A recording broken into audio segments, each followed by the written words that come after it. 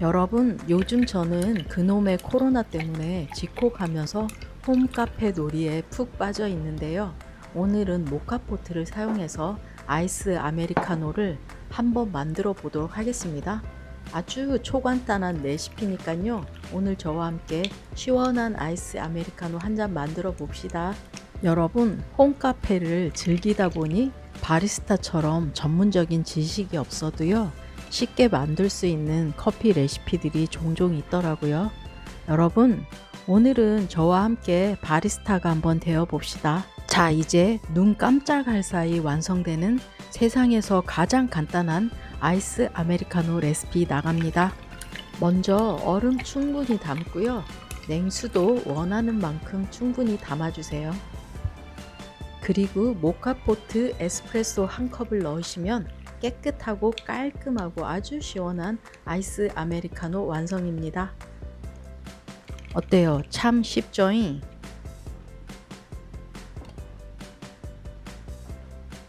진한 커피 맛을 원하시면요. 냉수를 본인의 취향에 맞게 그 양을 조절해 주시면 되고요. 냉수 대신에 탄산수를 넣으시면 기포가 뽀글뽀글 올라와서 보는 재미도 함께 즐기는 맛있는 아이스 아메리카노를 만들 수 있답니다.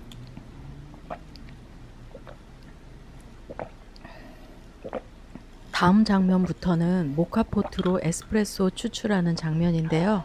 저의 영상에서 계속 나오는 장면이에요. 혹시 이 영상만 보시는 분들을 위해서 올리니까 보신 분들은 그냥 skip하셔도 됩니다.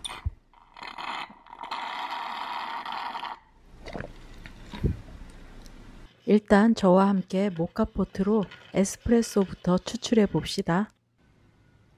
보일러에 물을 저 밸브 아래 선까지만 넣어주세요. 물은 꼭 찬물로 넣어주세요. 따뜻한 물은 안 됩니다요.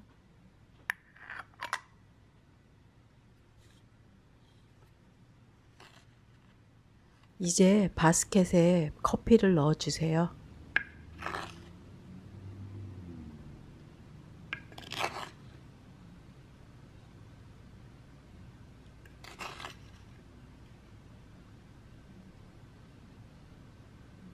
커피를 적당히 담고요. 살살 눌러서 표면을 편편히 펴주세요. 이런 방법은 북부 지역의 방법이고요. 로마에서 나폴리 지역까지는 커피로 작은 산을 만들어서 누르지 않고 닫는답니다.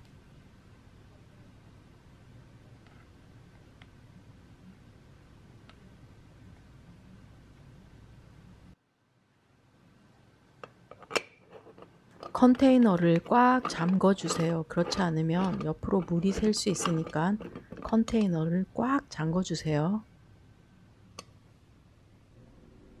약한 불로 추출하시면 됩니다.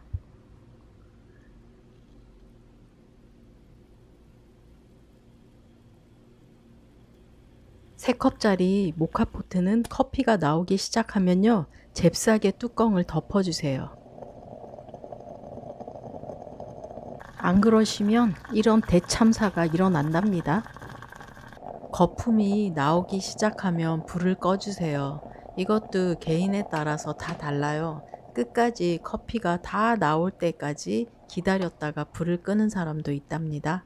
이렇게 맛있는 에스프레소가 완성이 됐습니다. 여러분 요즘 LA 너무 더워요. 오늘 온도가 46도이고요. 화시로는 115도입니다. 그래서 제가 재밌는 얘기 하나 들려드릴게요. 여러분, 인디언 썸머라고 들어보셨나요? LA는 9월 말 정도면 선선한 가을이 오는데요. 10월 말 정도에서 11월 중순 사이에 한 1, 2주 정도 다시 고온 현상이 나타나는 것을 인디언 썸머라고 해요. 인디언들은 이 시기를 겨울이 시작되기 직전에 신이 주신 축복이라고 여겼다고 하네요. 어떤 상황이든지 그것을 축복으로 감사함으로 받아들이면 정말로 축복의 길로 이어지는 것 같아요. 날마다 신이 주신 축복을 발견하는 하루하루가 되시기를 바랍니다. 축복합니다.